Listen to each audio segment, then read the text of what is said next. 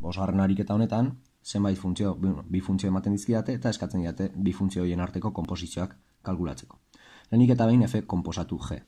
F konposatu G kalkulatzeko Fren barnean G ordezkatu beharko dut.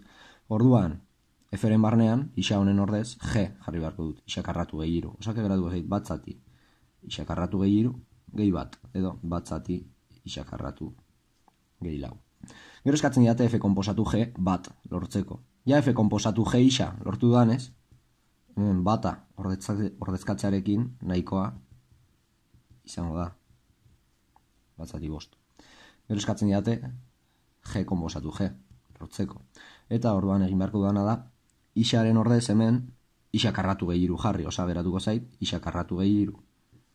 Karratu gehiru. Eta hau pixka bat txukun gero, geratuko zait, isa berlau, gehi zei isa berbi, gehi bederatzi gehiru, osake gehi amabi.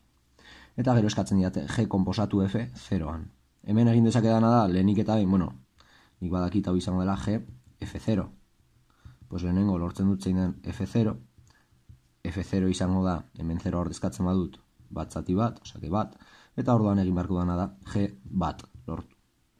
Orduan, Gren barnean, bata ordezkatzen badut, geratzen zait, bat berbi gehiru, teratzen dela lau.